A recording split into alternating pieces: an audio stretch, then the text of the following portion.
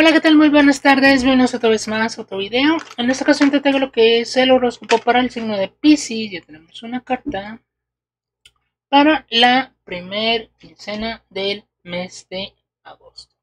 Vamos a ver qué, eh, qué tipo de situación puedes llegar a vivir, cuál va a ser tu mensaje eh, en este primer quincena. Igual cuando estés viendo este video, puedes llegar a conectar con el mensaje. ¿Ok? Te recuerdo que mi nombre es Jess y te doy la bienvenida a este canal. Te invito a suscribirte y a darle a la campanita y también eh, darle like si te ha gustado el video o si em, te gusta el contenido, ¿ok? vamos a ver Pisces. ¿Qué es que viene para ti? Habla mucho de contratiempos, ¿eh? como que algo está tardando en llegar o hay ciertas situaciones que están como deteniendo todavía tus cambios, tus energías. Hay una situación, lo que veo más es que todavía tienes que trabajar mucho tus emociones. Estás como muy anclado en ciertas emociones de tu pasado, en ciertos miedos, en ciertas inseguridades y hay que trabajarlas. Traes el 10 de copas. El 10 de copas normalmente representa la felicidad, pero en este caso, como está al revés, nos habla mucho de situaciones donde o tú no eres feliz o te sientes forzado o te sientes eh, limitado en tu vida a vivir ciertas situaciones que no te gustan o que no estás disfrutando del todo y que obviamente pues, hay que trabajar en ellas para cambiarlas. Ignorancia, me habla mucho de eh, ciertas situaciones que están pasando. No es tanto por la ignorancia, sino más bien como por vivir en una fantasía, por creer que las cosas deben de funcionar pasa mucho con los Pisces, ¿eh? Y me están diciendo algo relacionado con esperar que Dios resuelva todo, ¿ok? Eh, te están diciendo Pisces, es momento de trabajar. No esperes que Dios resuelva todo en tu vida. No esperes que los ángeles, perdón, resuelvan todo en tu vida.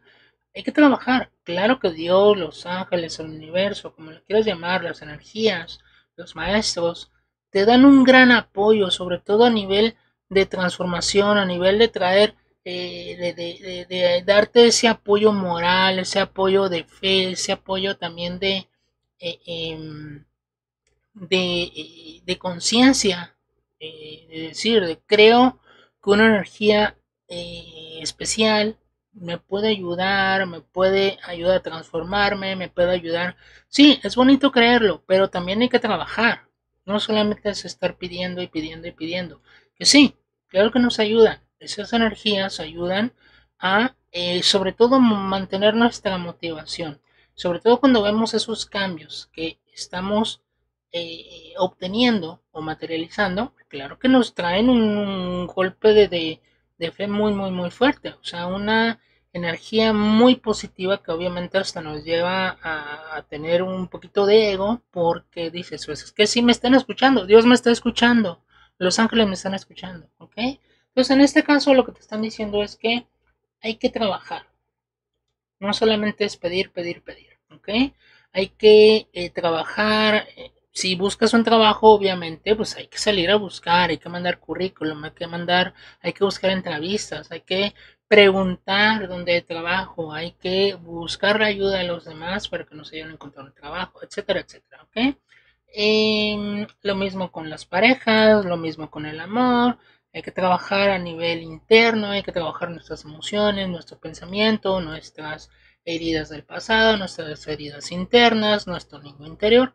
Es una serie de trabajos, de procesos a nivel interno que sí te están diciendo, quizás no es tanto la parte de la ignorancia, sino em, la parte de eh, empezar a resolver desde nuestro lado, desde nuestra parte, resolver aquellos contratiempos que nos vienen limitando. ¿Ok? Efecto despojo. Eh, hay una situación eh, que va a pasar contigo, Pisces. Si te estás deshaciendo de emociones, deshaciendo de creencias, deshaciendo de eh, limitaciones a nivel mental. Se está despojando de tu vida ciertas situaciones. Y, siento, eh, vienes de una energía muy positiva porque los últimos dos, eh, dos o tres videos o hasta cuatro videos eh, salieron muy de hay que enfocarte en lo positivo, vienen cosas bonitas para ti, vienen cambios positivos, vienen eh, ayuda de Dios, etcétera, etcétera. ¿ok? Entonces en este caso sí siento que tienes que enfocarte en dejar atrás lo que no sirve y enfocarte en lo que te ayuda a crecer. Sinceridad. Sincérate contigo mismo, Piscis. Sincérate con los demás. Sincérate con lo que quieres. Sincérate con tus metas. Sincérate con lo que has vivido. Eh, sé original, sé tú mismo. Deja de empezar a... Eh, muchas personas Piscis eh, tienden como a... ¿Cómo decirlo? Como el mismo miedo que tienen por tantas emociones, se van reprimiendo esas emociones porque, y es lo que dicen, eh, los Pisces son muy débiles porque se la pasan llorando, porque son miedosos, porque son eh, eh, inseguros. No es que sean inseguros o no es que sean miedosos, sino que las mismas emociones, porque son signos muy, muy, muy sensibles, y me atrevería a decir que es el signo más sensible del zodiaco, es tan sensible que produce emociones demasiado fuertes y muchísimas emociones y que una de sus grandes limitaciones es el miedo a sentir, porque no se da eh, a la tarea, por eso es que, ojo, los reyes de copas y las reinas de copas también representan el signo de Pisces, cáncer, escorpio, Pisces. Eh, lo que representa es la sensibilidad y la madurez emocional. Una persona, independientemente del signo que sea, Aries, Tauro, Géminis, el signo que sea, si no sabe trabajar sus emociones o si no tiene sus emociones eh, balanceadas o no sabe fluir con las emociones, se vuelve una persona o dramática o manipuladora, ¿ok?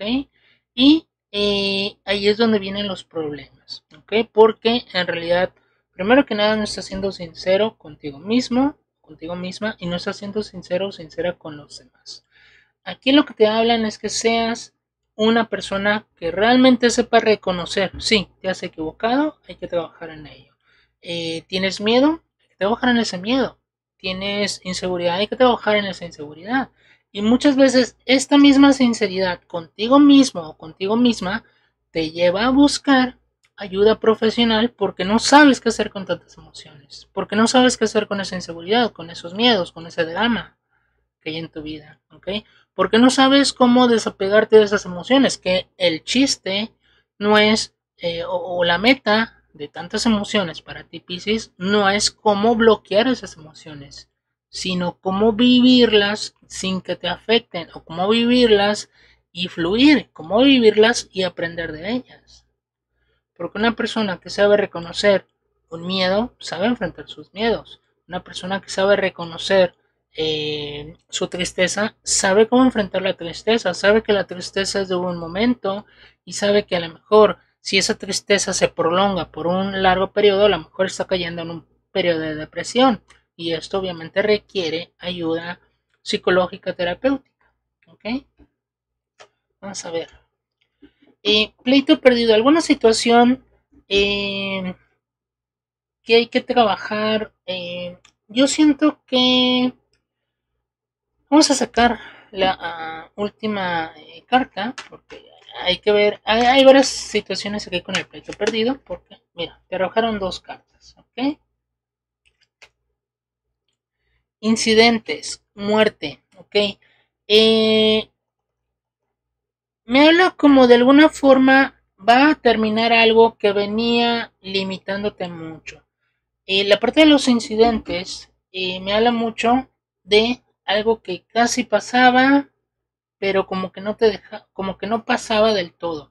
Los incidentes tienen que ver con el casi pasó un accidente, pero no pasó mayor. Un incidente, por ejemplo, un incidente de tráfico sería eh, pudo haber eh, chocado un coche, pero afortunadamente alcanzó a frenar, eh, afortunadamente alcanzó a desviarse y no pasó absolutamente nada. Pero fue un incidente, fue una marquita que quedó ahí, donde te dicen, bueno, a lo mejor este con muchos incidentes, ojo, en algún, en algún lado, en alguna carretera, en algún trabajo, en alguna situación también personal, puede indicarte una bandera roja de que algo es inseguro, de que no se están tomando las debidas precauciones. Aquí con la parte de la muerte me habla mucho de situaciones de cambio. No tiene nada que ver con, con enfermedades, ni con la muerte, ni con nada malo, ¿no? Simplemente te están hablando de un cambio. Como que había un cambio que todavía no llegaba o todavía no llega porque de alguna forma siempre como que se cierra ese camino. Como que viene una oportunidad y algo muy bonito y todo, pero siempre se cierra ese camino. ¿Ok? Y esto sí eh, puede ser em, provocado por situaciones de trabajo de energías negativas, eh, trabajo, por ejemplo, de magia negra, situaciones también de miedos, situaciones de eh, limitaciones, de creencias negativas, etcétera, etcétera.